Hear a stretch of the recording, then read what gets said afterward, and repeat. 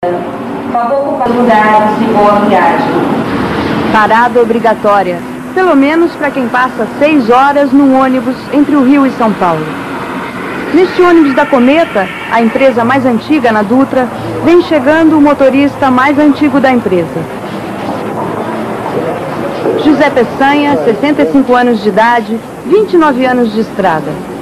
Nós vamos dar uma voltinha pelo posto enquanto o motorista vai almoçar.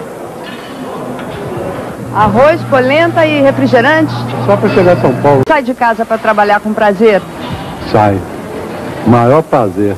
Bateu no serviço, tô feliz da vida. Estrada Liberdade, você se sente livre, né? Essa curva ali atrás é que morreu o ex-presidente Juscelino e nós estamos chegando em Engenheiro Passo. A Dutra acabou. Há uns 10 anos atrás era muita segurança, muita gente tomando conta. Hoje está largada, né? Acabou a Dutra. A estrada, que nos anos 50 foi apresentada ao Brasil como orgulho rodoviário nacional, hoje envergonha os que ajudaram a construir a